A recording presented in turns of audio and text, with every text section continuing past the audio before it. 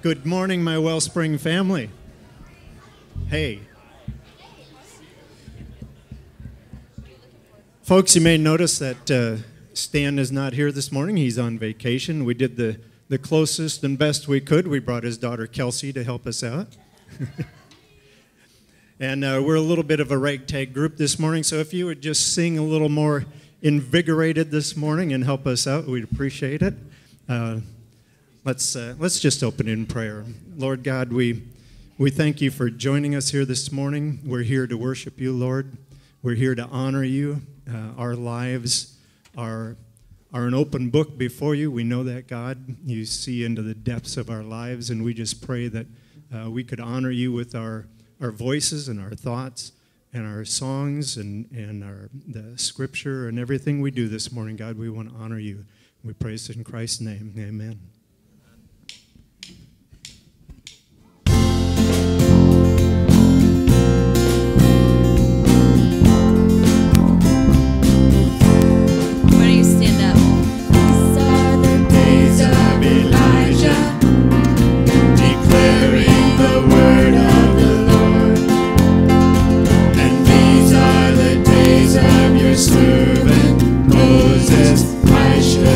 be restored.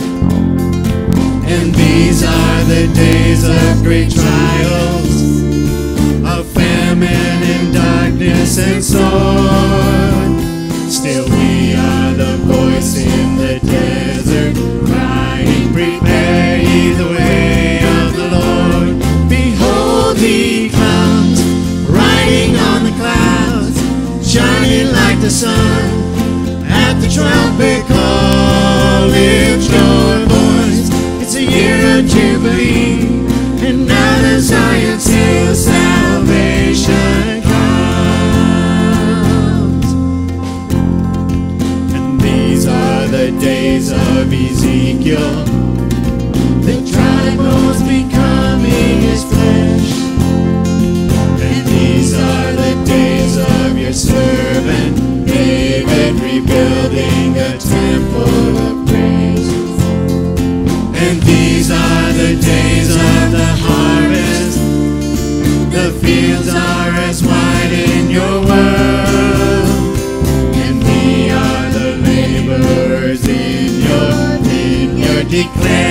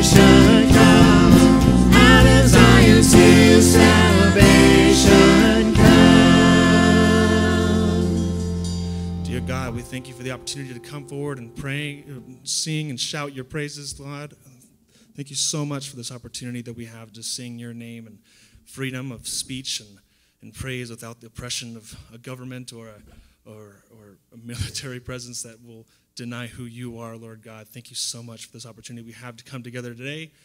And please uh, let us lead worship in your name. Amen. Zach, yeah, Zach Schisler is on his senior trip, and Zach Nebeker is in here somewhere. He should be. If you see Zach, grab him. Okay, we actually have a slideshow of the of the seniors. Oh, look at that. Okay, so what I want to do is just go through and ask um, what future plans are for um, for the future as you graduate high school. So, what are you going to be doing, Rose? Um, I'm going to go to UCC for two years to study. I'm going to go to UCC for two years to study child development or something like that, or whatever God wants me to do. That's just where I'm going to go for right now. And then I'm going to transfer to a university for however long it takes to get whatever I'm going to do.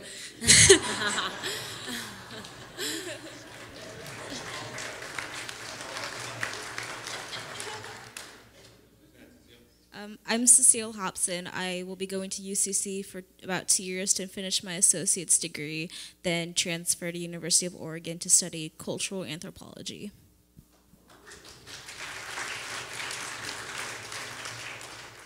I'm going to go to UCC for one year to finish my associate's degree. Then I'm going to transfer to OSU. uh, and my name's Caleb. Who are you? And uh, then transfer to OSU.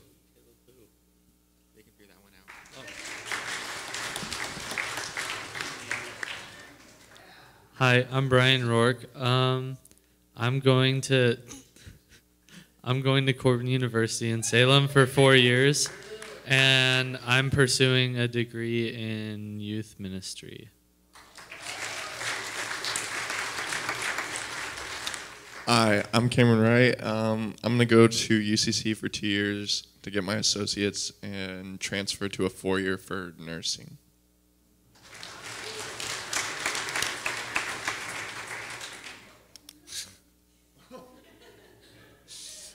Um, I'm Zach Nebeker, uh, company of George. You guys know, know me as George's nephew. Um, I am going into the Army and I ship out on Sunday, I believe. Next Sunday, Sunday or Monday.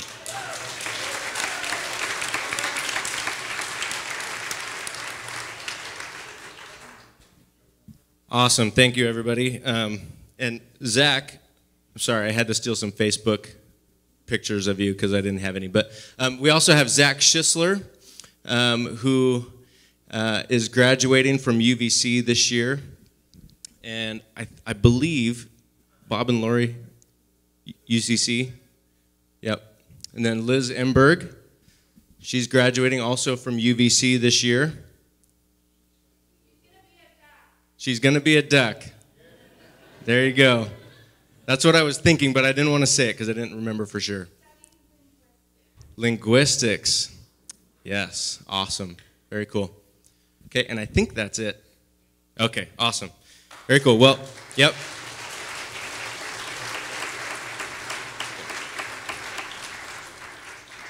So, for those of you prayer warriors out there, now you know who and how to pray. Um, these are these are just some awesome kids. It's been great to to serve them over the last couple years, and so be praying for them as they make this transition. Some of them very soon. Zach, um, on Sunday we'll be shipping out, and some of them at the end of the summer or, or wherever in between. So so be praying for them as they as they make this transition, this new step in life. So and guys. Um, come see me after the service. I have a gift for you from Wellspring. So, all right. That concludes our announcements for this morning.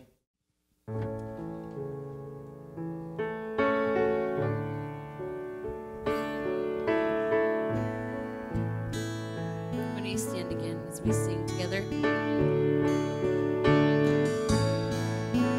One day when heaven was filled with his praises, one day when sin was as black as could be, Jesus came forth to be born of a virgin,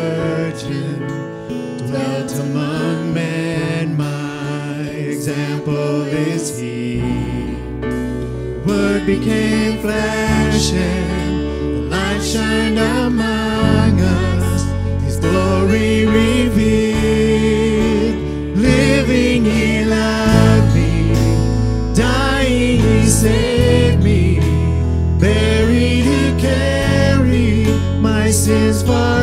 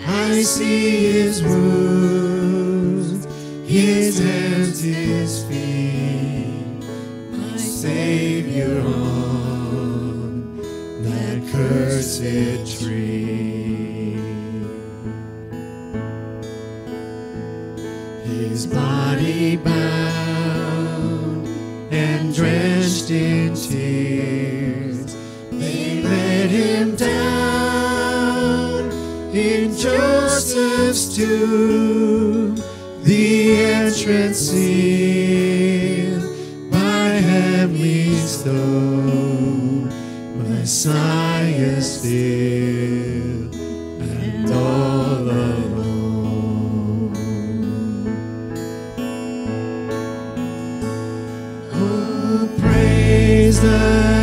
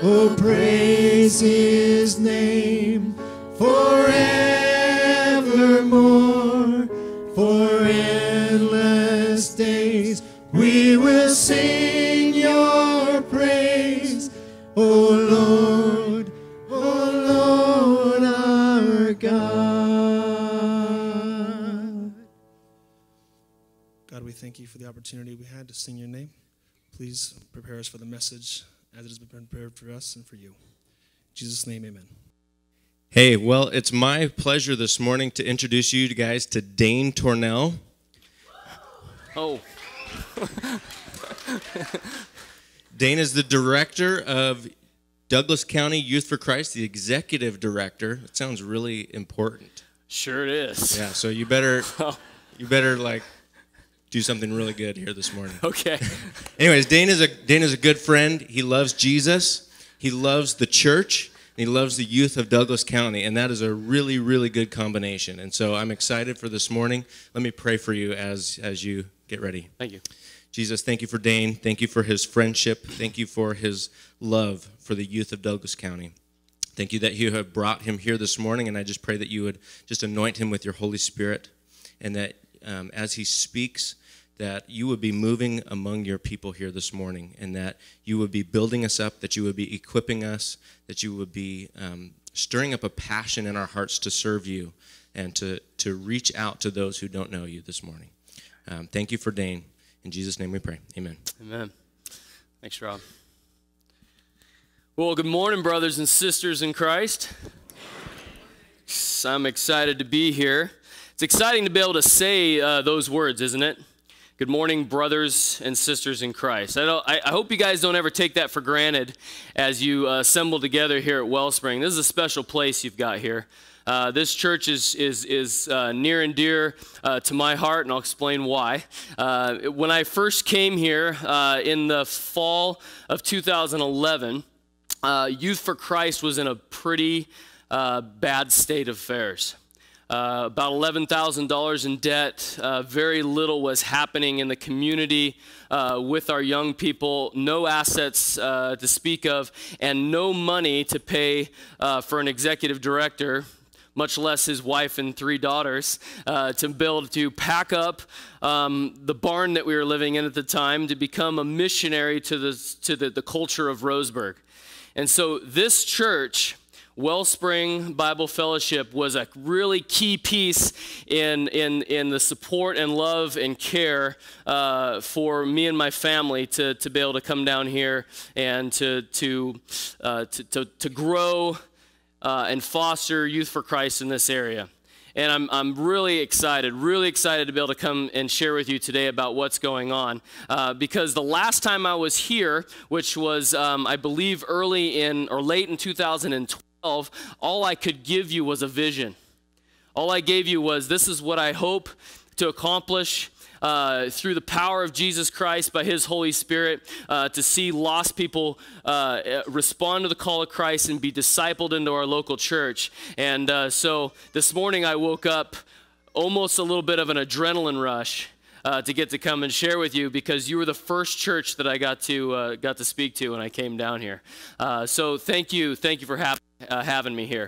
It is, it is special to be able to call each other brothers and sisters in Christ, like I was mentioning, because if we don't understand that we're a part of a bigger, a bigger plan than this beautiful brick building, that you're a part of something that's far more than, than your own personal struggles, maybe the struggles that your church is going through, and I'm familiar with those uh, right now. Stand firm in Jesus, friends brothers and sisters in Christ.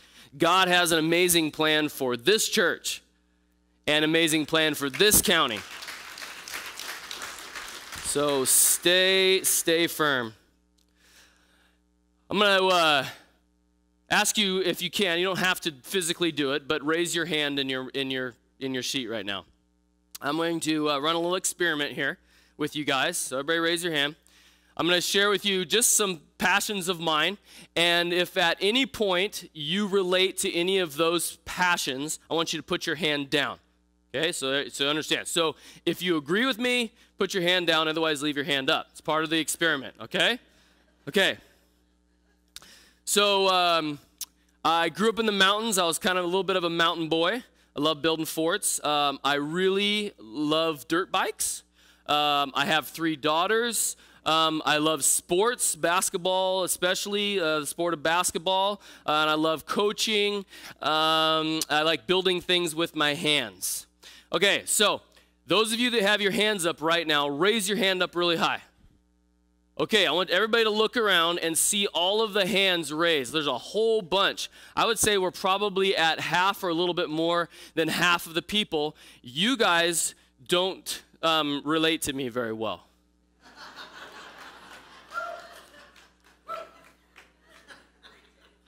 So we've got a special room for you. We've got donuts. You guys can leave, right? Because you don't agree, you don't necessarily bond or connect with the, with the speaker today. Isn't that interesting that that often becomes the culture of our church?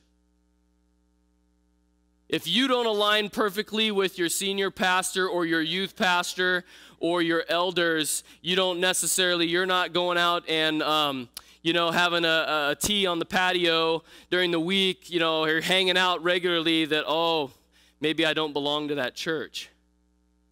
Right?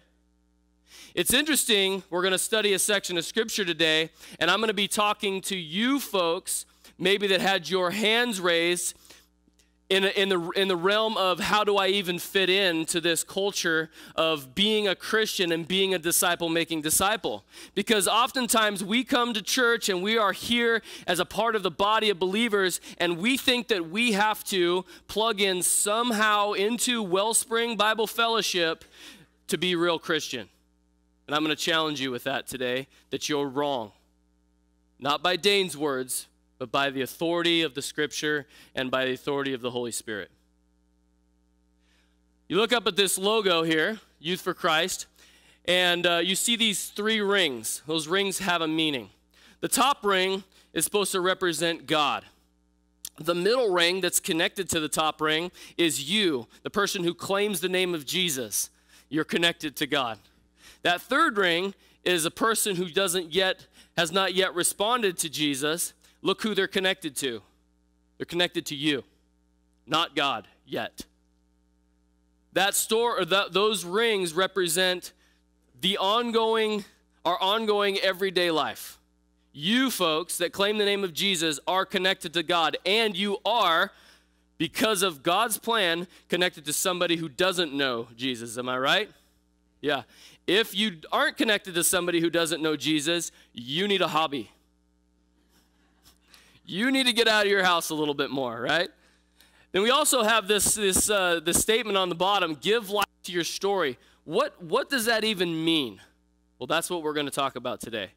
That's what we're going to pursue because every person in this room has a story. And the most significant one is that of going from death to life in Jesus Christ. Amen? I hope, I hope that you do. And your story, by God's plan, is to be used to give him glory.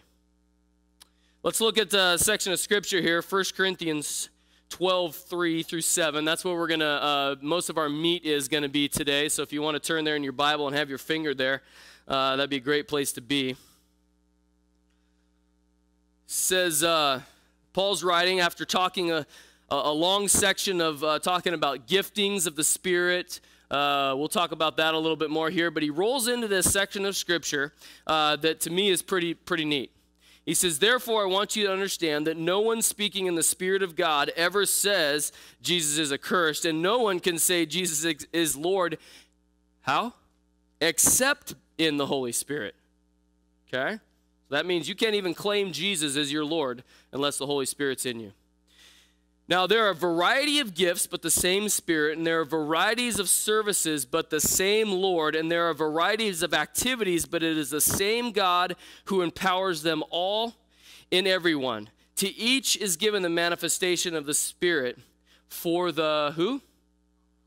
Who's common good? Yeah, we are. We are the common good. Let me pray. Heavenly Father, your word uh, is uh, amazing. I would hope today that it pierces our heart. It does uh, for me. Every time I read this verse, I just think about the fact that um, you've got a plan that so far, so far surpasses anything that I can imagine or comprehend. Um, Lord, so we just we just want to hang tight to your still small voice in our hearts and our head. Lord, lead us and guide us into all truth. Um, Lord, it, until we are dead, you have a plan for us here on this earth. So I, am I'm, uh, I'm excited to share today, and I just pray that uh, my words be your words and the message be clear. In Jesus' name. I was uh, I came down here um, kind of on a trick. You guys know Dave and Kathy Brink. A lot of you guys know David and Kathy Brink. He was the uh, uh, uh board chairman for Youth for Christ for a very long time. Bless that man's soul. Um, he gave everything that he had uh, to, to keep this organization alive.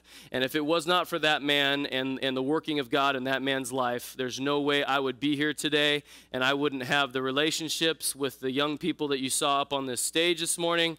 Um, and uh, I, I just just thank him. Uh, if you guys ever get to see him again, he, uh, he or Kathy, uh, please just say thank you. Uh, you guys could not know the impact and what he did for, for Youth for Christ in this area and now in Eugene. Uh, so, but they, uh, they, they kind of tricked me. Um, I got this call.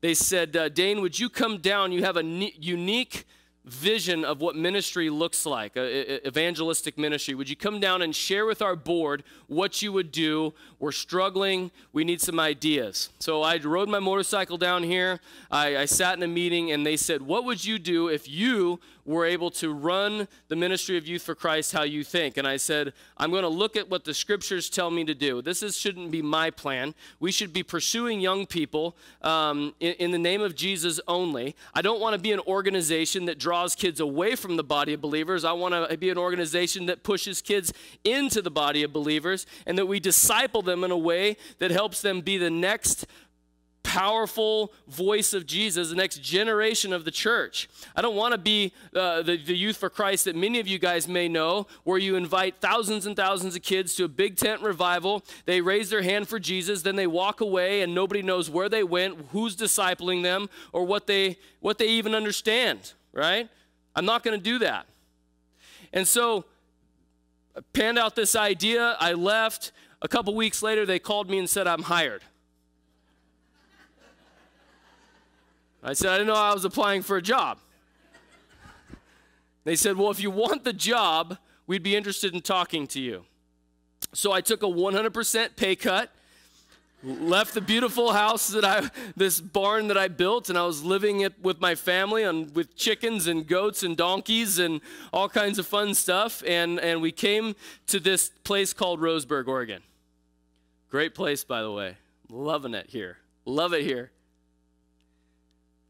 and we started we started pushing forth with this vision which i'll get to every organization's got to have a have a, a, mission statement here's ours it says yfc reaches young people everywhere working together with the local church and other like-minded partners to raise up lifelong followers of jesus who lead by their godliness and lifestyle devotion to the word of god and prayer passion for sharing the love of christ and commitment to social involvement. So what i'm going to do is i'm going to take us on a little bit of a journey and we're going to look at this word right here. It says everywhere everywhere is it, it, you got to understand because when I came down here in, to Douglas County, what I learned quickly was most people did not know what Youth for Christ was. They had heard the name campus life associated with this name of Youth for Christ. Some people didn't even know that Youth for Christ even existed outside the borders of Roseburg. Okay, so we're gonna we're gonna pan back here, and we're gonna take a uh, you know 100,000 foot view right now, real quick, and look at the whole Earth. Okay, Youth for Christ was, was uh, started during World War II. there was this huge evangelistic uh, movement. Some of you are familiar with this guy right here. You know him? A lot of people don't know. Billy Graham was the founder and first executive director of Youth for Christ.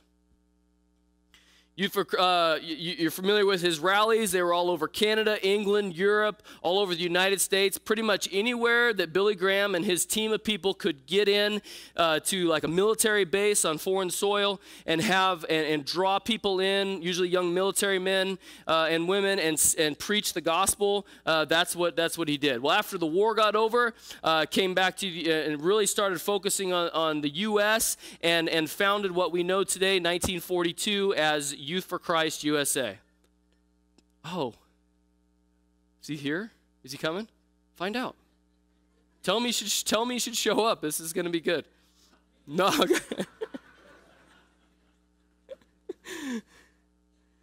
So it started, things started to change a little bit. We started to become more uh, local centric as Billy Graham and his team started to spread out across the, across the United States, which in fact today there are over 25 mission, missional services that we have in the U.S. that were started. For instance, Red Cross, um, uh, Goodwill, uh, those were all started from people that were associated with the Billy Graham Crusades uh, early on that, that then branched off and started their own, their own thing. So, went nuts. Well, because of his influence and because of what God was doing through the Billy Graham Crusades, Youth for Christ is now in over 130 countries.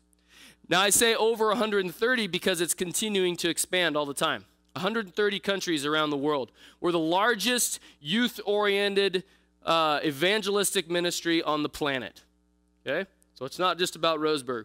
Within those 130 countries, there are about 150 specific locations, if, the, if that makes sense. So, say you have one country, there may be two or three locations within that, within that country, okay? Now, one of those locations is the United States of America. Within the United States of America, there are over 2,000 plus chapters, one of which is Umpqua Valley Youth for Christ. Umpqua Valley Youth for Christ is our legal name. We serve Douglas County. In Umpqua Valley Youth for Christ, we have a executive director, we have a local board, we have an independent vision, which I'm going to talk about in a minute, and we take care of all of our own finances. Does that make sense? So we're a franchise of sorts, if you will. I'm the executive director. I have a board, some of which go to this church. We're independently governed. We manage the vision and the mission here locally, and we figure out the best way to reach our youth of our culture here. Doesn't that make sense?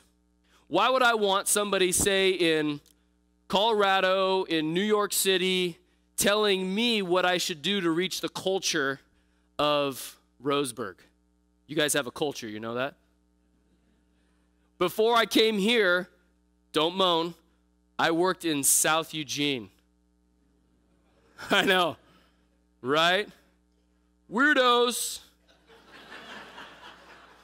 14 years I worked with weird, I mean, those young people there. No, I loved it. You know what they love there? The outdoors, of course. Probably hemp and pot, but whatever. They loved they love the outdoors. I love the outdoors. So I use that as a ministry tool there. Hundreds and hundreds and hundreds of kids I work with in the outdoors. Well, I come down here to Roseburg and I start talking to young people about going on really long backpacking trips, and they're like, huh? Where does my gun go? Does it go on the outside of the pack, or do I put it inside? Of, do I wear it on my.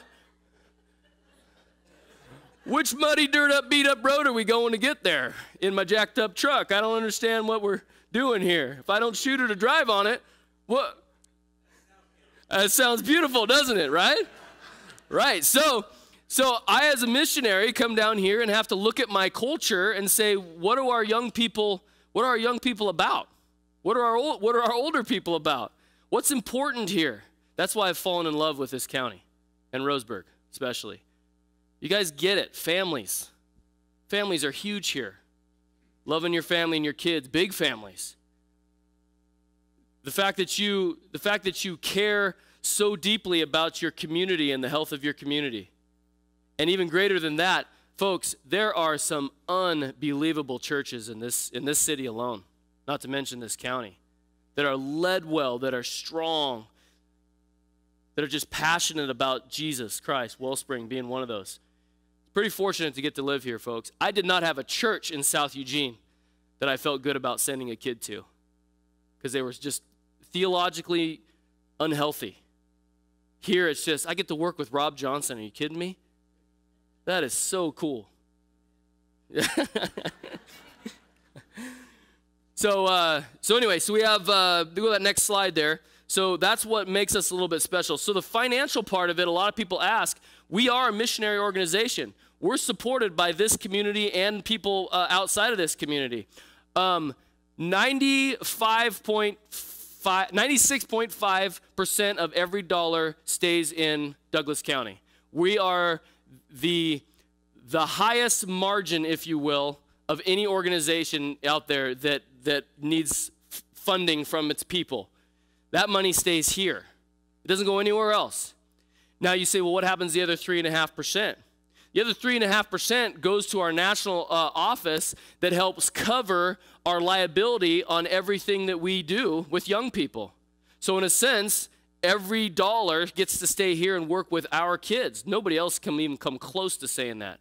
There's not a not for profit in the nation that can say that. Youth for Christ, because of how we're structured, we can. You write a check to YFC, it doesn't go anywhere and come back, it stays here. So, we are able to cover your, your boat your car, your business, your activities that you love to do, your ideas on what uh, uh, serving a young person. I can cover. The only thing I can't cover is private aircraft and the flying of drones. I know, still figuring out the drone thing, but those are the only two activities right now that I can't cover liability wise. Isn't that amazing? So, right now, we have a property down in uh, Green, about 150 acres, called the Ritchie Ranch. Many of you are familiar with that name.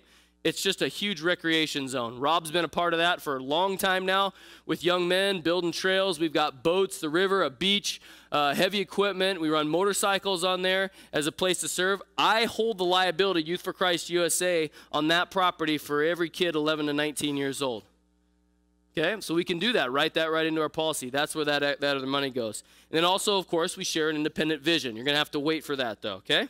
Let's take a look real quick. I'm going to fly through these. I'm going to introduce you to a couple people. Um, but Youth for Christ has uh, a core core ministries, if you will. So these are things that are that we look at and say these are an effective ministry tool hang on to that term, ministry tool that we are able to use to reach our young people. So the first one is Campus Life. Uh, that's the biggest one that's ever been here. Um, we have Campus Life right now on uh, Roseburg High's campus. We have open Bible. Bible study, excuse me, um, every Thursday, both lunches at RHS. Praise the Lord. Isn't that amazing? Yeah, pretty fun. That's run by Ross Harmon and, uh, from Redeemers and Ricky Logsden from uh, um, Roseburg Alliance. Um, we're also at um, uh, um, Fremont Middle School. Scott Swanson runs that. There is anywhere from 90 to 120 kids every week that are uh, having Bible study on Fremont's campus. Amen? Isn't that neat? Now, you notice real quick who is doing that work. It's not youth, it's not youth for Christ people. Okay? What I'm doing is fostering the growth of our local church with people that can effectively do the work. Okay, those guys aren't those guys don't have to go out and make a widget every day. They are youth pastors in our community that I've been able to go in, build relationship with the school, and then give them the YFC hat to be able to walk in and be able to be the campus life director on those school campuses. Now I want to pause real quick. I'm going to say a quick prayer. Okay? Bill Bartlett, principal at uh, Joe Lane. This has been a hard a hard go for a long time. A lot of you guys are familiar with that school. In fact, we have some teachers from that school in here right now. He has softened, Lord is doing something on that man's heart. I've had some amazing conversations with Bill in the last three months. I've coached his daughter in basketball. I've worked with his wife on the track and field uh, circuit, and uh, I get to talk to him all the time.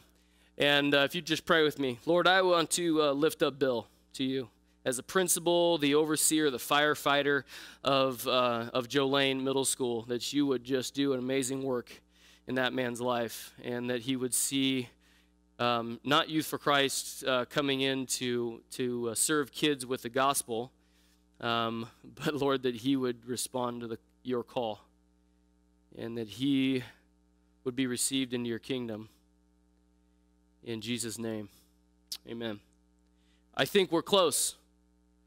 Folks, I'm more concerned about his heart and his salvation than I am about Youth for Christ getting on that campus. But would that be neat to have those kids get to hear the gospel as well, right?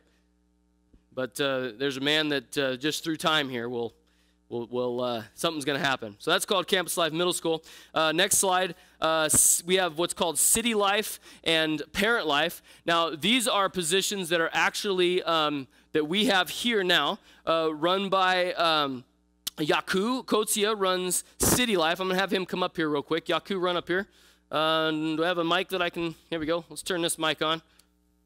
It's the yellow one. Yaku, share with us real quick about City Life. City Life, well, we're really engaging. Uh-oh. Buttons and stuff. Second. Two There- seconds. there it is. so two seconds. Um, City Life is really working with our uh, overlooked youth in the area. So um, if you look at the kids that are at the skate park, uh, that are smoking pot, or if you look at the kids that are incarcerated, even we have an overlap with the juvenile justice, which he'll talk about. Um, and we work with a homeless youth at Casa de Belen. And uh, all these kids, and uh, one of the things I want to shout out real quick is this trailer project. There's a wonderful couple here, Daryl and Robin, who hooked us up with an amazing trailer, uh, 18 foot long, and it was bigger than I would expect was expecting to get. But um, those kids from Casa de Belen, they need community service hours. Incarcerated kids, especially the boys at the Fowler House, they need community service hours. Um, and then we have other youth uh, that we're going to be working with in the future. Uh, they need community service hours. So, and we're going to use this trailer and we're going to be building a bench in it. We've already got a wall of racks to, uh, to transport bicycles. But these kids are going to be using community service hours to serve UCAN and the lower income families that live there by providing bicycles that people donate. And so these kids are going to learn to give back. So just thanks for that trailer, uh, Zwickers. So another another great example of uh, folks in our in your church here that have come to that, that support what we do. Yaku is uh, full time, does a fantastic job, is great with young people, great with adults. If you'd like to learn more about uh, city life, please. Well, we've got a table out here. These guys are going to be out there to be able to talk to. The next one is uh, is is parent life. Now notice that it says parent life reaching expectant and parent teens and their children. Do you notice that it doesn't say girls? Okay? Let's be careful right here because there was a young man that was inspo- uh, responsible here. And we want to pursue them the best we can also. You think those young men need some guidance at this point in their life? Yeah, absolutely. And let me say this real quick so Carol doesn't have to. Shame on you, shame on us as a body of believers if we don't aggressively rally behind these young women in the raising of their child. Everything that we can possibly do. Hey, guys, it's a two for one, right? It's a two for one. Some of you are pretty good with your with your uh, investments. How many of you wouldn't want a two for one on every dollar that you want to invest, right?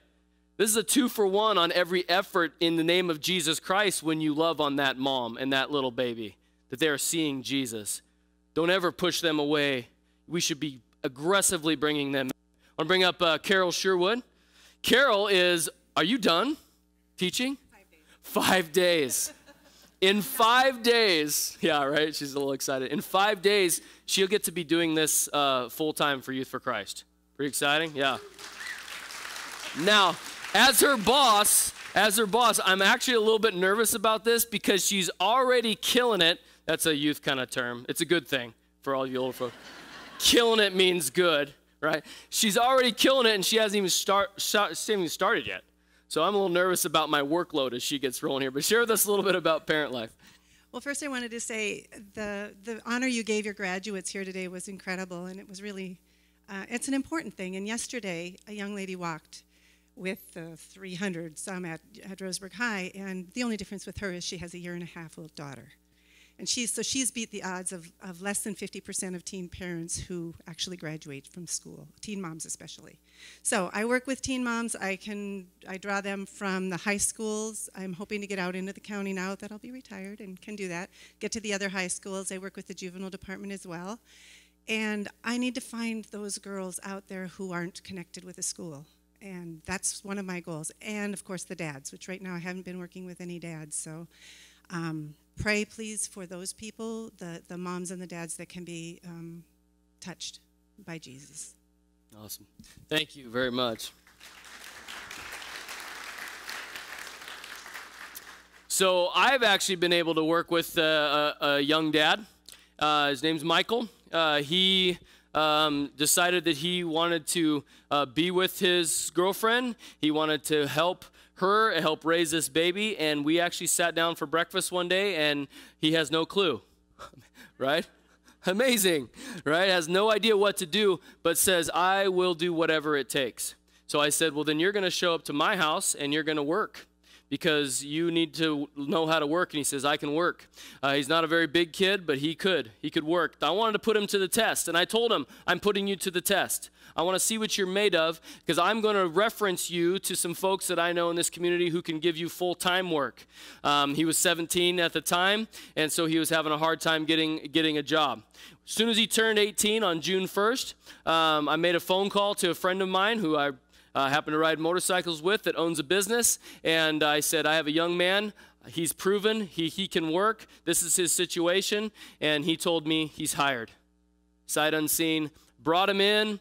Uh, I just got a report from, uh, from Brandon, the business owner, and he told me not only is Michael doing really well, he's excelling. We want him here. He's going to learn all the different facets of what it takes to build trailers, and, and we love this kid, and we're going to keep him there. Praise the Lord. So that's just a story.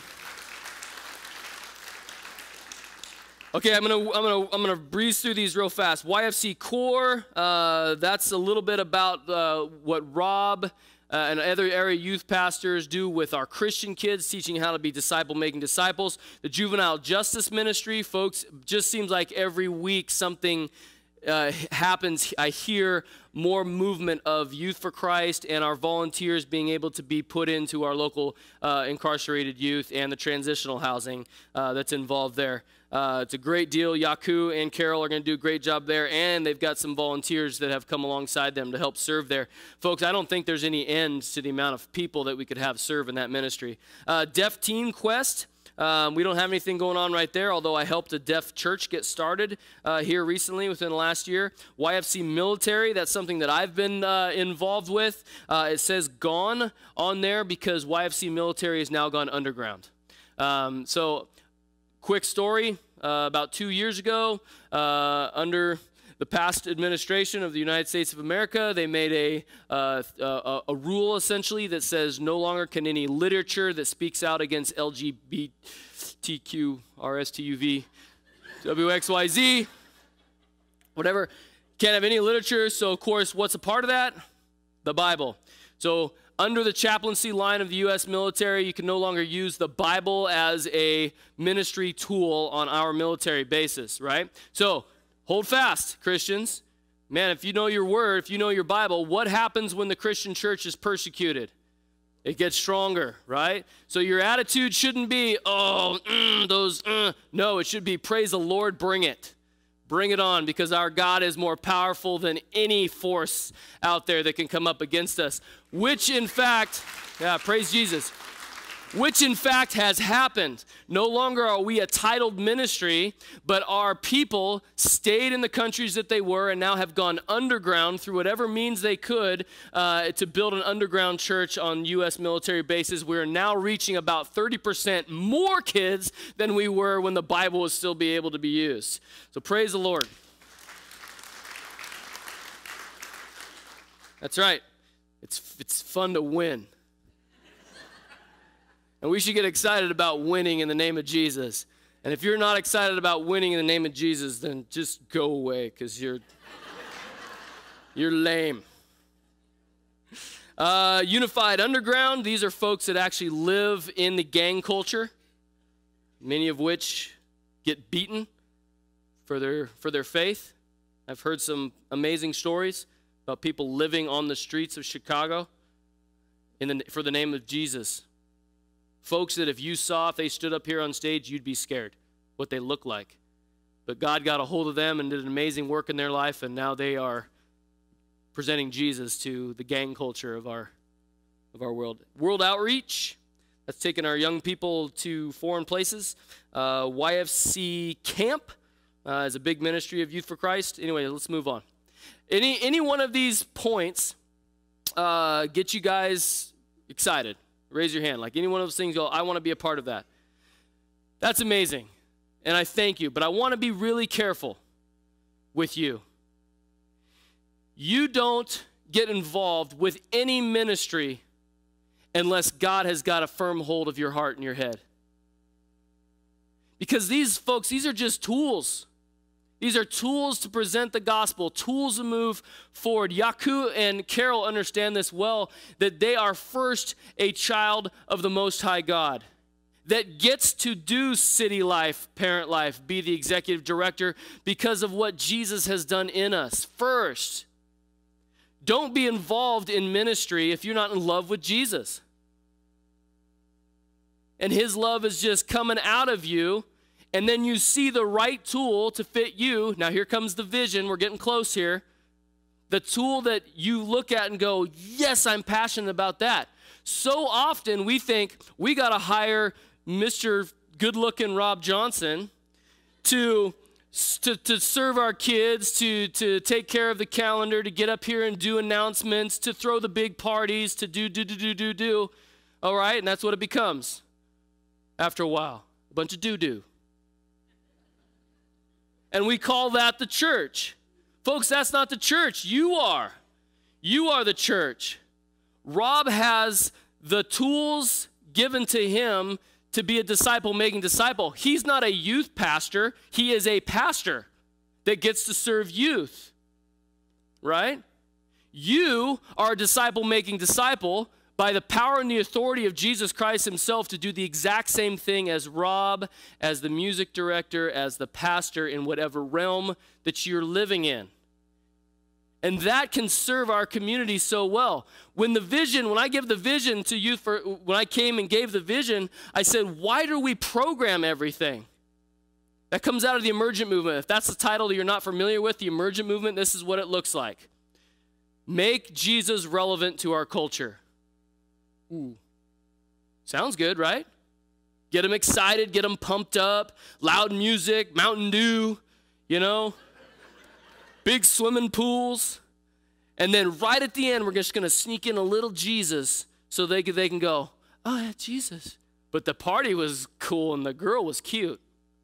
I think I heard something about Jesus, but I'm not sure because it was like five minutes right at the end. That's what the emergent movement looks like. Let's entertain our kids this idea of earn the right to be heard.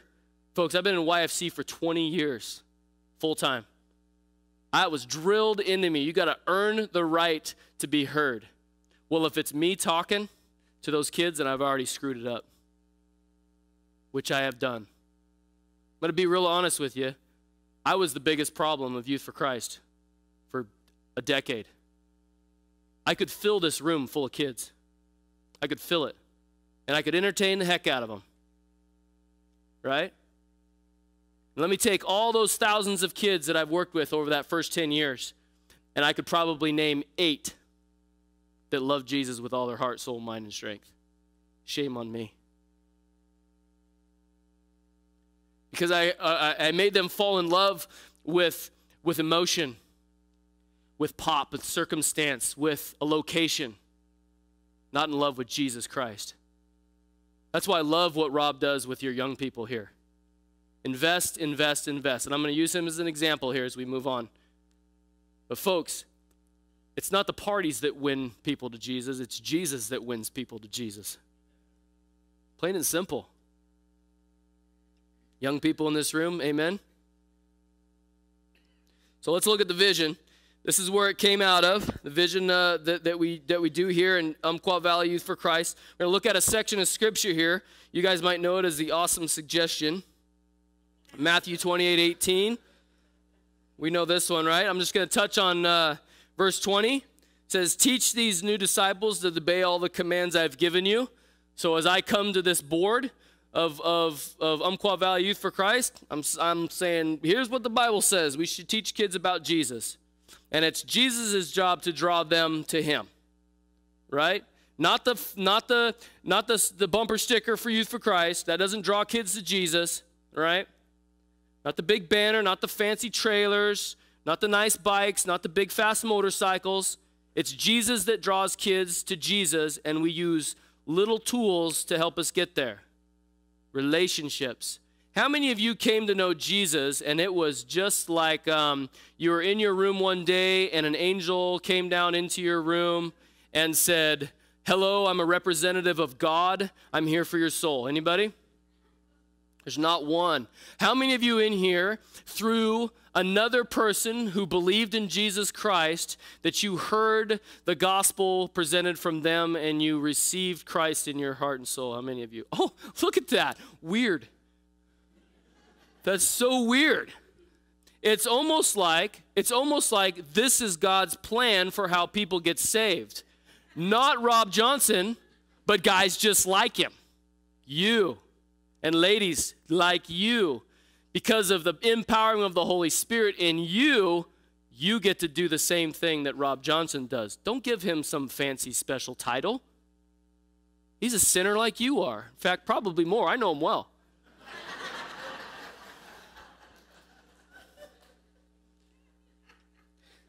God invented this. God invented this. Jesus so perfectly showed us how to do it, and the Holy Spirit guides us through the process of doing it. Now I'm going to start getting a little bit personal. Guys, Jesus died for us to give his life to us, to live his life through us. That's his plan. Respond to it. Respond to it. Let's look back at the, the mission really quick. And it says, it says these, look at the yellow words here, working together with the local church and other like-minded partners to raise up lifelong followers of Jesus. I had an issue with this with Youth for Christ. I was 14 years in, in, in Lane County, and I saw very little result of us actually discipling our kids into the local church. So the vision I brought here was that I am going to be, sorry for the word here, Rob, intimately involved with Rob in everything, in every way that I can, so that I can be involved with his young people and his mind, where he's going with his young people, so I can encourage him, resource him, equip him the best way possible to grow our young people in this community. And then the kids that I'm involved with on the basketball court, as I coach basketball at Roseburg High School and I coach track, when I get to know kids, who do I hang out with? Rob Johnson. Who are those kids getting to see? Him, as well as 12 other great pastors in our area. And so then there's this relationship, oh, there it was, relationship that happens with Rob Johnson. Not a big party, but an actual relationship where they get to bounce things off each other and have conversation. And then one day when Rob or any other person in this community says, hey, would you love to come to church with me? They say, absolutely. And we'll get there here in a little bit. And this comes out of First, uh, Second Timothy two. Take a look at First, uh, Second Timothy two. You guys have seen this many times. And what you have heard from me in the presence of many witnesses, entrust to faithful men who will be able to teach others also. And then you guys know the rest of that verse. Sharing and suffering as a good soldier of Christ Jesus. And then we go into the, the affairs of, of what it is to be a warrior Christ. Folks, are you, are you aware that, that you're a part of an army? How come we've lost that song? Onward, Christian soldier, right? That's just politically incorrect. We don't want to be doing that.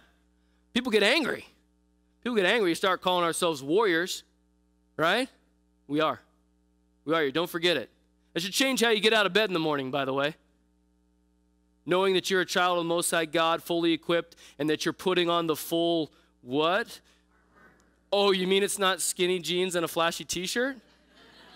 Oh, okay. It's the full armor. Right.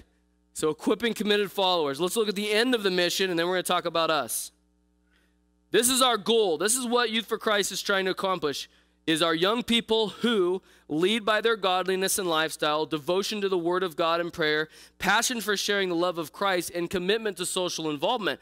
I don't know about you guys, but if I take all of those as individual pieces and, and then I start breaking those down and to say what is needed to accomplish all that, that's a lot of work. That's a lot of work. I mean, most of you aren't even there. I don't even know if I'm there. Devotion to the Word of God and prayer, passion for sharing the love of Christ, commitment social involvement, that's my job every day. That's a lot of work. We can't ever assume that we can take a kid over to a big fancy camp, share Jesus with them, and they're going to raise their hand and then they're going to be all of those things immediately, right? How does that happen? How did it happen for you? It takes time, doesn't it?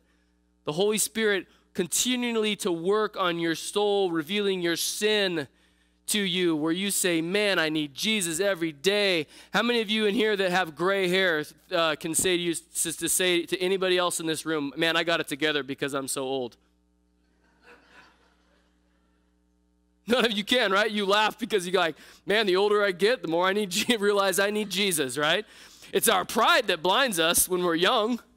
I got this together. I got a strong body and a great charismatic, yeah, whatever, and therefore I'm effective for Jesus. And you guys are all looking, going, man, you don't got it together, young guy. You don't understand. You need Jesus in every aspect of your life.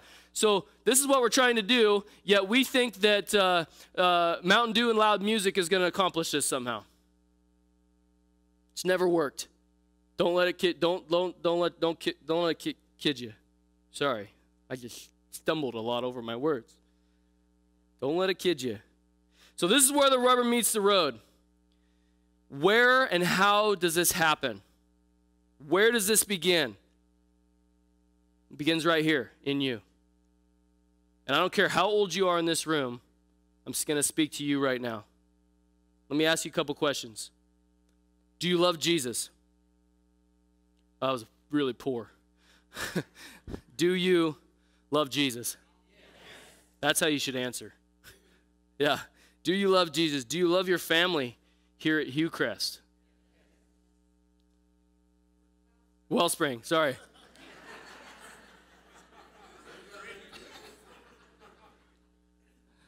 Funny because their church is kind of set up like that. I don't know where my brain went. That's funny. Great church, Hillcrest. yeah, do you love your family here at Wellspring? Yeah, absolutely you do. That's why a lot of you are here every week. The, the, the, other part of you, I'm not sure why you're here every week, but for most of you, you're here because you love Wellspring then feed the sheep. Feed the sheep, friends, brothers and sisters in Christ.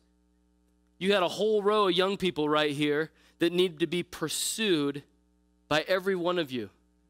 Get their phone numbers, call them, find out how they're doing, find out what the Lord's doing in their life. That's not Rob's job. That's your job as their brother and sister, mom or dad, if you will, in Jesus It's to feed these guys with everything that you've got. Your young people should feel so loved and cared for when they come here that they cannot miss Sunday. There's nothing in them that says, I want to miss a Sunday. Yet we have taken all of that and we've put it on the Rob Johnsons of our world, haven't we?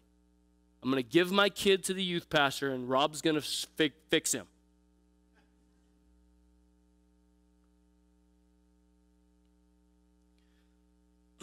Let's look at that 1 Corinthians 12 verse again. If you've got that, flip back to it, it'll be on the screen. Look at these uh, yellow words here. There are varieties of services, but the same Lord, and there are varieties of activities. The same God who empowers them all and everyone. Do you guys realize that the same Spirit that raised Jesus from the dead is the one that lives in you? Let me ask that question again. This, do you realize that the same spirit that raised Jesus from the dead is the spirit that lives in you? Isn't that amazing? So, um, how many of, uh, let's just say, um, everybody in this room loves the game of soccer? Okay? You love the game of soccer, you're going to play it until you're on your deathbed, you're rolling in your wheelchair like a boss, you know, ripping it up, playing soccer. Let me ask you Does the Holy Spirit leave you on the soccer field? No, it doesn't. What gave you the love of that game? Who knows? Yeah, yeah, some coach, I don't know. You love that game. How many of you, how many of you have something that you're really passionate about that you would do every single day if you could? Every there's don't don't even pretend. Every one of you raises your hand, right? If you had a choice to do something every day, you would do that activity. For me, dirt bike. Motorcycles. I love riding motorcycles, both on the street and in the dirt, preferably the dirt. So where did I get that passion from? To want to ride motorcycles. I yeah, I grew up riding motorcycles, but there's something in me that just really loves to ride a dirt bike as hard as I can.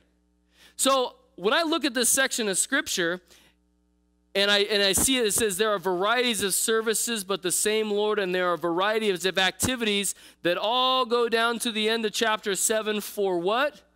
For the common good. Why do we think that we have to fit in always to some kind of a mold of what an evangelistic mindset looks like? No, no. Use, folks, use what you love, how God has uniquely built you for His kingdom and for the common good. Right? Every one of you has a passion in here. That passion is given to you by God Himself. Use it for His glory. And we, we have the discernment of the Holy Spirit to know whether, to know whether or not it's, it's right or wrong. But if you play music and, or, or, or let, you have language skills or construction abilities or athletic abilities or you name it, everything, every way that you have been created should be for the glory of our, our, our, our Creator. Am I, am, I, am I wrong? Am I wrong here? Am I right? It seems like it because if God created the world, He knit you together in your mother's womb. He's got a great plan for you to, to, to, to grow you in all kinds of different ways. Uh, we can read the scriptures and we can wrap our head around those scriptures and we can get super excited about those scriptures. And then what's the one thing we do? We say, Where's the next available program for me to go get plugged into? And then we go stand on the wall and wonder why we don't fit in there. Now we look at this and we say, well, Dane, I know what the, what the, scriptures say here. Paul was just talking about spiritual giftings, and my spiritual gift, oh, I'm going to step on some spiritual toes here, or some theological toes. My spiritual gift is this. Folks, it's not your spiritual gift, it's not yours at all. It's the Spirit's who's loaning it to you for you to steward. So, yes, you have a gift, it's the Spirit and it comes with giftings. You don't own it. It's not yours, it's God's. So use it for His glory. Why is that different than the passions that we love so much? Why can't I use what I love to do? So, how does this work into the vision of, of, uh, of Youth for Christ? We've got this scripture, we've got this understanding of who we are in God, that He has given us a variety of activities in this in this common good right here for the common good for his glory. I'm going to give you an example. I'm going to call somebody up on stage who i do not know. And this this is going to be called the wellspring social experiment. Let me see. You've been taking notes the whole time or writing something down so why don't you come up here? So this could be a complete failure. I don't even know this guy so. Could oh i do know you. That's right that's hmm. right. I didn't see it in the, in the shadowing. Okay, tell us your name in case they don't Bob know. Bob Armstrong. Bob Armstrong. Okay, so I'm going to ask Bob Armstrong a really simple question, which happens to be the same question that I ask a lot of people in the community who say, I want to be involved in what Youth for Christ is doing. And so this is what I ask. So, Bob, what are you interested in? What do you love doing? Helping people. Helping people. In which way? In, in what way? Okay, helping people financially. So that's a passion of his. So let me ask you a question, Bob. Do you think, uh, let's just take that uh, group of young people that we're standing up here right now. Do you think it would be of value? There's going to be some parents laugh now. Do you think there would be uh, uh, some value in our young people who are just now getting to leave their homes and go into the real world to understand the value of financial responsibility? Sure. right? They'll, they'll figure that out. Duh. Okay, so here's Bob Armstrong, who his passion, his variety of activity can be used for the common good so easily. So let me ask you this, Bob. I'm going to put you on the spot. Is this something that you'd be willing to do for the common good of Wellspring? Yes. I was actually thinking about it when you were talking. Huh. Praise the Lord.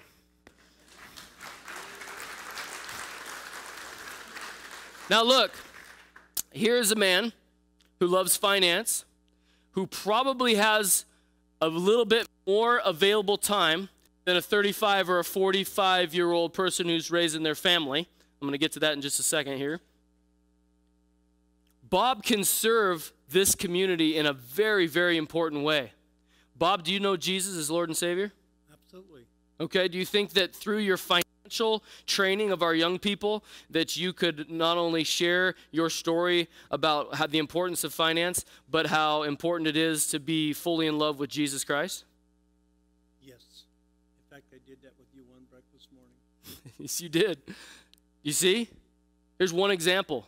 Now, if I started pulling each one, each person out of this audience and bringing them up here and said, "What are you passionate about? And do you think that you, you could use that for the glory of God and for the common good?" I think the answer would be yes to every every person in here. Thanks, Bob. Yeah, good to see you.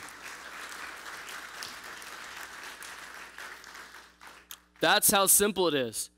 You're not all going to raise your hand in here and be in agreement with, with the things that I'm passionate about parent life, city life, any of those uh, uh, things that we talked about, about Youth for Christ. That's not what YFC is about. Youth for Christ is about taking what God has done in your heart and your mind and creating a ministry around you to serve the common good of Douglas County. Folks, when somebody says, to me, it isn't possible to reach every lost young person in Douglas County, I tell them you're wrong. You're wrong because our church needs to wake up and understand that they, as an individual person, has been called to be a disciple making disciple of Jesus Christ and can use the things they're already passionate about. There's a pretty good chance that there's a large number of our young people that need exactly what Bob has to offer. And I know that for a fact because I just worked with a young girl named Amber who was moving out and doesn't have a clue about money, and she asked for help. I may connect them. Right? That's the, that's the power of the movement of the Holy Spirit. So don't pretend, folks, for one minute that, that, uh, that you just come here or that you just help Rob or that you just. Mm-mm. Now, you folks that are a little bit older, right now, Youth for Christ has over 40, vol- actually, I think we're more at like 48 volunteers right now, mentors who are doing exactly what we just did with Bob, taking what they're passionate about, training up our young people in something that they have a common interest in, and are, are, and are, are serving them. And guess who the best demographic of mentors are? Over 55. Over 55. In fact, you know who in this in in our in our in the United States right now probably the most amazing evangelist on the uh, maybe in the world? My dad. He may not live more than another 5 to 8 years, I don't know. My dad tells people about Jesus every day. Teaches young people how to build. He is on the road all the time meeting with that next kid, that next young person, that next young adult, that young dad who's trying to figure out how to just have a house and protect his wife and his kids. Almost 80 years old. He's got two hip replacements, two knees, one shoulder done, and is now wearing a halo because he had to have a huge needle stuck in his neck to shut some nerves off that weren't allowing his right arm to move. So he looks like a freak everywhere he goes. And he sits at the table, barely able to drink coffee with a shaking left hand, and is looking at building plans with a young person and giving him advice on how to build a home because that's what he did for 50 years. What's your excuse? I don't feel good. I'm tired. Right? That's what we all we just we go there. I don't have the energy. Yeah, you don't, but the Holy Spirit does. If you'd be led by him, let him do a work in your life, you will be a disciple making disciple under his authority and his power, not yours. He will give you exactly what you need. Folks, if you don't understand that, you haven't read your Bible.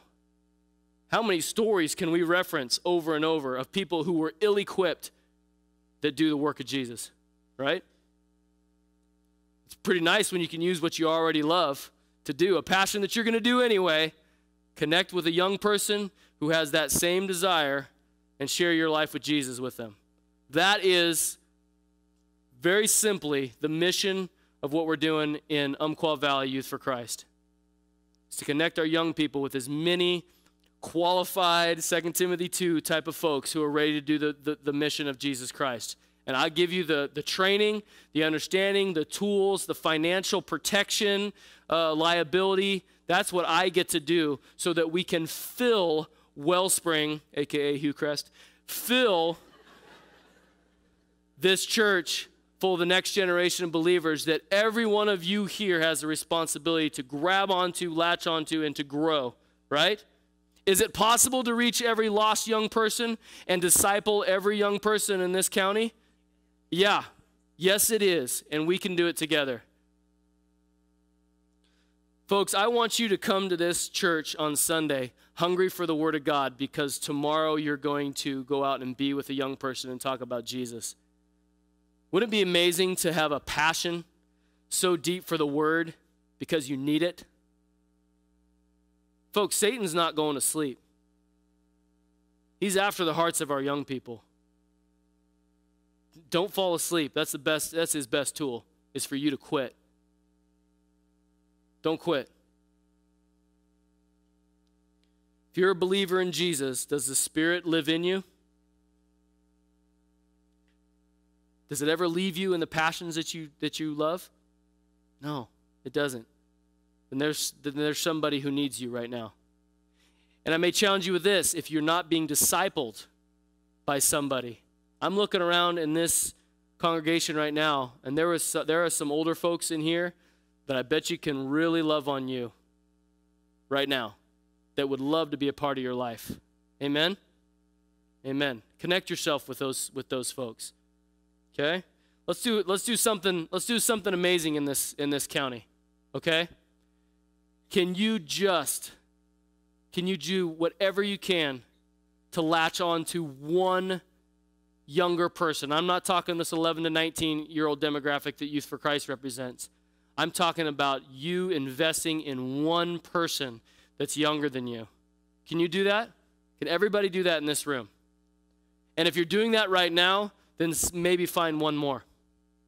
Folks, if the church of um, if the church of Douglas County, if this is if, if we have this mindset, then we can actually reach every lost young person in our county. Amen. It can be done. It's not an overwhelming task because it's by the power of the authority of the Holy Spirit that's going to do it. This is small stuff for God. But by his design, it is us. It is us that goes and do it. We just need to rise and do it. Stand up with me, if you will.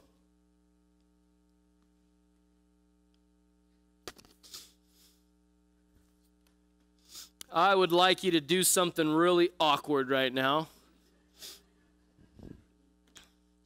Grab the hand of the person next to you. Oh my goodness. Personal space. Where's my iPhone? This is weird. So we are united in Jesus. Amen?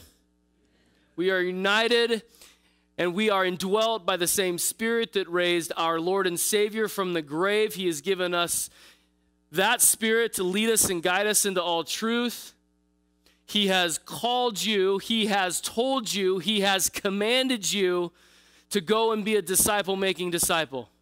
And He's given you all the tools and the equipment necessary. Don't let yourself get in the way. Let Jesus do an amazing work through you. Pray with me. Heavenly Father, I want to come to this church hungry to be equipped because you are who you are, and you've given us everything necessary to present you as a holy, sovereign God. Lord, I pray for Wellspring, the body of believers here, that they would wake up different in the morning, knowing that there is a battle. The battle is winnable because of Jesus, it is being won because of Jesus. And Lord, we thank you for choosing us. You've called us into your kingdom, and that, that has come with a massive price. Lord, help us to respond, to listen to the still small voice of the Holy Spirit. Lord, I pray that you do an amazing work in the lives of these wellspring brothers and sisters. Lord, whatever our pains, whatever our anxiety, whatever our fears are, Lord, that we can just say, Jesus, bring it. I am ready to be your servant. I want to go, God. I still have time left here. Lord, and we need we need not just your help, but we need the help from our brothers and sisters. As we pray for each other, we intercede for each other. We help each other when we hurt. We supply the needs for each other. Lord, these are just your these are just your words on how to get it done. Lord, this is an amazing church. It's been a blessing to be connected with this church now for five and a half years. Lord, we thank you for their for their financial support. We thank you for the, the, the, the people's support, the emotional support. Lord, I just, uh, you just put something on my heart, Lord, that there is going to be a massive shift in Wellspring going to happen. Something big's going to happen in this congregation. Lord, I just I would pray that these people would be ready, ready to respond. Lord, we do pray for those who don't know you. Lord, it's your plan that we be a part of their lives in relationship. Lord, I think about that person in my head right now, that name. You guys can do it right now too. You have a name of somebody who doesn't know Jesus. Lord, we just lift this person up to you. And Lord, we ask that if there's a way that we can be a light, salt, and light to this person, that we can speak truth, that we can love them in a supernatural way, that that's what we do. Lord, not, not that we get a notch on our belt, but that we live out a response to a finished work of Jesus Christ. And as a believer in Jesus Christ, I can do nothing but respond in love and show them Jesus. We just lift this person up and we just ask that you do great work and draw them, draw them to yourself.